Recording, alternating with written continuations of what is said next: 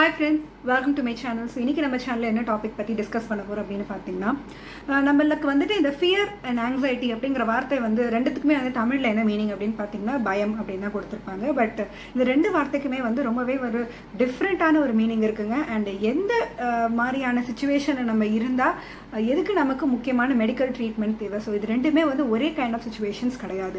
முழுவதுமாக வந்து டிஃப்ரெண்ட்டாக இருக்குது ஸோ அதை பற்றி நம்ம பார்க்க போகிறோம் அண்ட் இதோட சேர்ந்து இது ரெண்டும் இருந்தால் இன்னொரு ஒரு கண்டிஷன் லைக் ஃபோபியா அப்படின்னு சொல்லிட்டு ஒரு வார்த்தை இருக்குது ஸோ இந்த வார்த்தை எதுக்காக வருது? அண்ட் இதை நம்ம எப்போ வந்து கன்சிடர் பண்ணோம் அப்படிங்கிறத பற்றி தான் வந்து இன்றைக்கி நான் இந்த வீடியோ பற்றி பேச போகிறேன் ஸோ வாங்க வீடியோக்குள்ளே போகலாம் ஸோ ஃபஸ்ட்டு வேர்டான ஃபியரை பற்றி நம்ம ஃபஸ்ட்டு வந்து டிஸ்கஸ் பண்ணிடலாங்க. அதாவது ஃபியர் அப்படிங்கிறது வந்து இட்ஸ் நேச்சுரல் பவர்ஃபுல் ப்ராசஸ் இது வந்து எதுக்கு வருது அப்படின்னு பார்த்தீங்கன்னா நம்மளுடைய பாடி வந்து நம்மளை அலர்ட் பண்ணுது. எப்போனா நம்ம கண்ணுக்கு முன்னாடி ஏதோ ஒரு டேஞ்சர் சுச்சுவேஷன் ஏதாவது ஒரு அபாயமான ஒரு சுச்சுவேஷனல் கண்டிஷனும் இருக்குது ஸோ அதுக்கு நம்ம ப்ரிப்பேர் ஆகிறதுக்கு தான் வந்து நம்ம பாடி வந்து ப்ரிப்பேர் பண்ணக்கூடிய ஒரு ஸ்டேட் தான் வந்து ஃபியர் இந்த ஃபியர் அப்படிங்கிறது வந்து நம்ம தோன்றின காலத்துலேருந்தே வந்து சாதாரணமாக எல்லாருக்கும் இப்போ எப்படி நம்ம அழுகுறோம் சிரிக்கிறோம் அப்படிங்கிற மாதிரியான ஒரு நார்மல் கைண்ட் ஆஃப் எமோஷன் தான். எனக்கு பயமே இல்லை அப்படின்னு யாராவது சொன்னாங்கன்னா நிச்சயமாக நம்பாதீங்க. பயம் இல்லாதவன் ஒரு மனுஷனாக இருக்கவே முடியாது.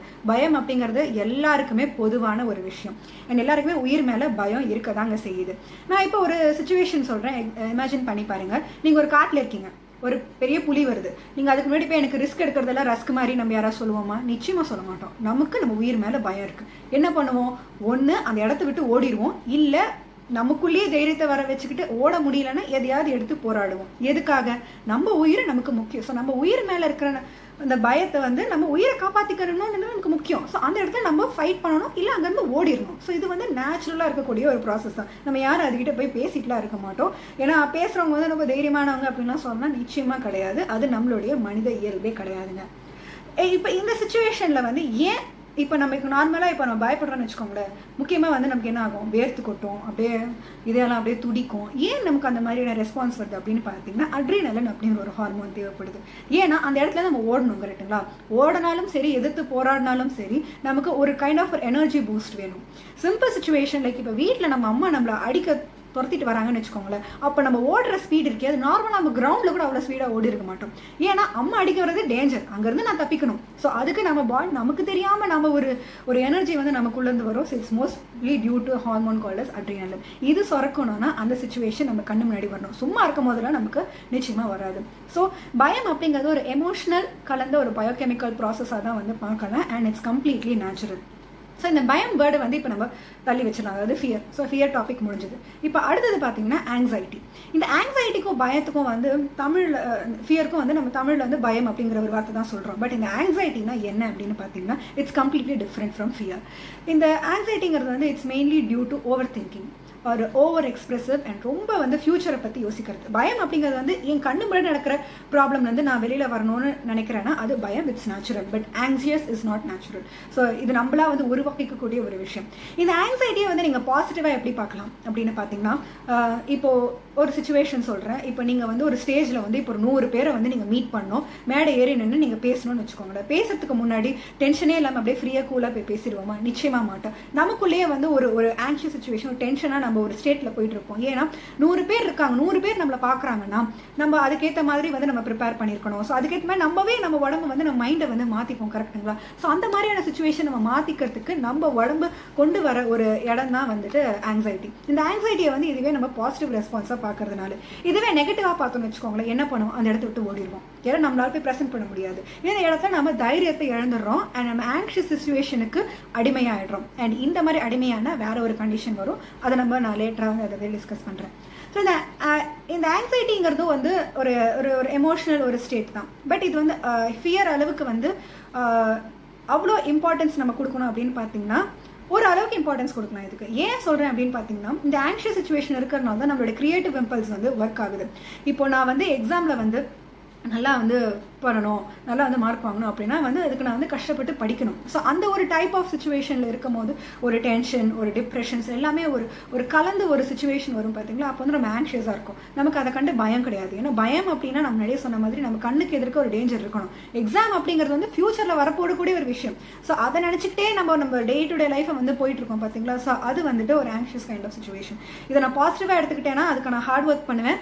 நான் எக்ஸாமில் நல்லா பண்ணுவேன். பட் இன்கேஸ் அதே நான் நெகட்டிவாக நான் வந்து எடுத்துக்கிட்டேன்னா நான் நிச்சயமாக என்னால் எக்ஸாம் நல்லா பண்ண முடியாது. So I might even fail so இந்த ஒரு over expectations and over thinking so இது எல்லாமே வந்து it's under our control answer சுச்சுவேஷனை நம்ம நம்ம நிச்சயமாக அதை நம்மளால் கண்ட்ரோல் பண்ண முடியும். பட் ஃபியரை வந்து நம்மளால் கண்ட்ரோல் பண்ண முடியாது. ஏன்னா அது நம்ம வெளியில் வந்துருவோம். ஏன்னா இது கண்ணுக்கு முன்னாடி இருக்கிற பிரச்சனையிலேருந்து தப்பிக்கிறது தான் ரொம்ப ரொம்ப முக்கியம்.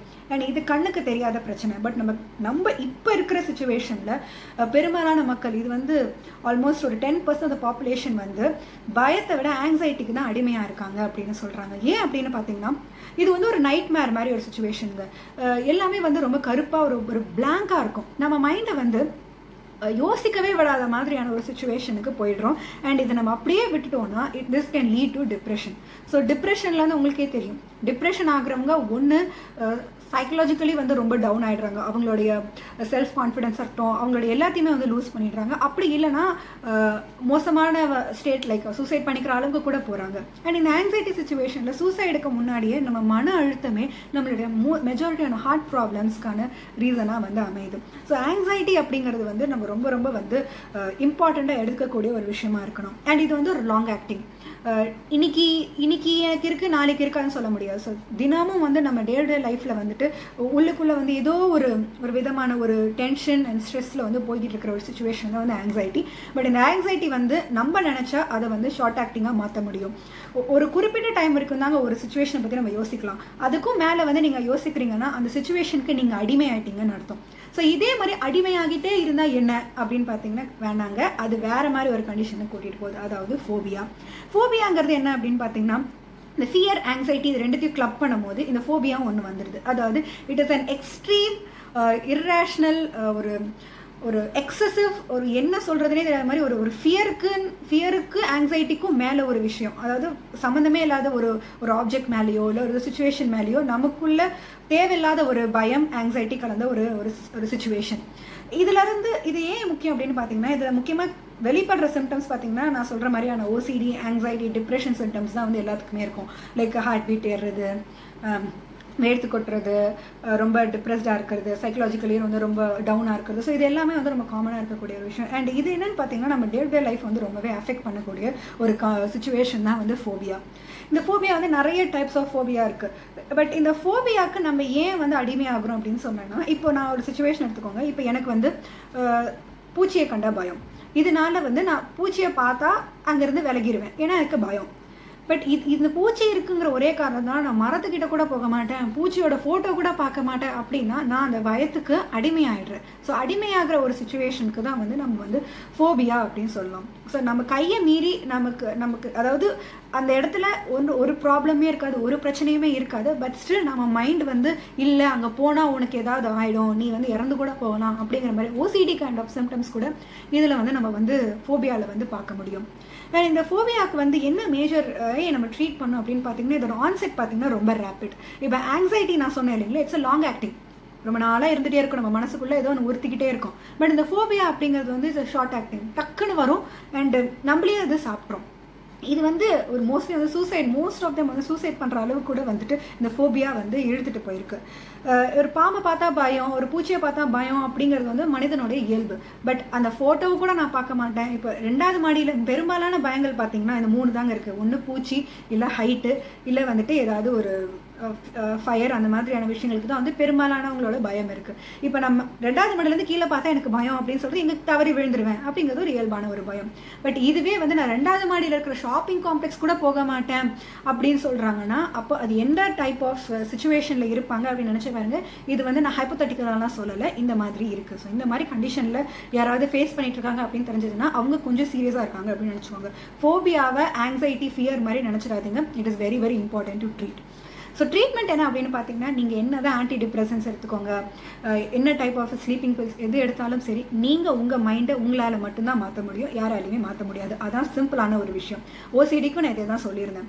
இந்த கார்டினேட்டிவ் பிஹேவியல் தெரப்பி அப்படின்னு சொன்னேன் இல்லைங்களா? அதாவது நீங்களே அந்த சுச்சுவேஷனுக்கு போய் அதுலேருந்து வெளில வர ட்ரை பண்ணும். இப்போ நான் ஏரோப்ளேனில் போனாலே செத்துருவேன்ற சுச்சுவேஷன் வரும்போது நான் ஏரோப்ளேனில் போகி லேண்ட் ஆனேன்னா எனக்கு ஓரளவுக்கு அந்த பயம் குறையும். அது ஓரளவுக்கு அந்த ஃபோபியா கைண்ட் ஆஃப் ஸ்டேட்லேருந்து நான் வெளில வந்துடுவேன் பட் இதுதான் வந்து ரொம்ப முக்கியம். பட் இதே மாதிரி இன்னொரு டைப் ஆஃப் ட்ரீட்மெண்ட் என்ன அப்படின்னு பார்த்தீங்கன்னா சிஸ்டமிக் டீசென்சிடைசேஷன் அப்படின்னு சொல்லுவாங்க. அதாவது ஒரு கொஞ்சம் கொஞ்சமாக இப்போ எனக்கு க்ரௌடை பார்த்தா ரொம்ப பயமாக இருக்குது அப்படின்னா நான் முதல்ல வந்து ஒரு அஞ்சு பேர்கிட்ட பேசணும். அதுக்கப்புறம் வந்து ஒரு பத்து பேர். அப்புறம் கொஞ்சம் கொஞ்சமாக ஆட் ஆகி நூறு பேர். So, இந்த மாதிரி கொஞ்சம் கொஞ்சமாக மக்கள்கிட்ட பார்த்து நான் பேச பேச பேச அதுக்கப்புறம் நான் நான் ஸ்டேஜ் ஏறும் போது எனக்கு அந்த ஒரு ஹேங்ஸி சுச்சுவேஷன் அதாவது அங்கே போய் நான் கரெக்டாக பேசணும் அப்படிங்கிற ஒரு டென்ஷன் தான் உள்ளே இருக்குமே தவிர ஃபோபியா இருக்காது. ஸோ ஆங்ஸைட்டியை நான் அந்த ஸ்டேஜ் பர்ஃபார்மன்ஸ் முடிச்ச உடனே எனக்கு அது தானாகவே என்னை விட்டு அது மறைஞ்சு போயிடும். எனக்கு கான்ஃபிடன்ஸ் கொடுக்கும். பட் ஃபோபியா கான்ஃபிடன்ஸ் கொடுக்காது. நம்மளுடைய மென்டாலிட்டி அண்ட் நம்மளுடைய ப்ராக்ரஸை வந்து ரொம்பவே டவுன் பண்ணி விட்டுரும். ஸோ இந்த வீட் இந்த இன்ஃபர்மேஷன் வந்து உங்களுக்கு வந்து பிடிச்சிருக்கும் அப்படின்னு நினைக்கிறேன். ஸோ இந்த மாதிரியான சுச்சுவேஷனில் உங்களுக்கு தெரிஞ்சவங்க யாராவது இருந்தாங்கன்னா உடனே வந்து அவங்களுக்கு ட்ரீட் பண்ணி அவங்கள வந்து அந்த சுச்சுவேஷன் வந்து வெளில கொண்டு வர பாருங்க because it's very very important so இன்னொரு இன்ட்ரெஸ்டிங்கான டாப்பிக்கில் உங்களை வந்து மீட் பண்ணுறேன் and then is bye from Sneha tata have nice day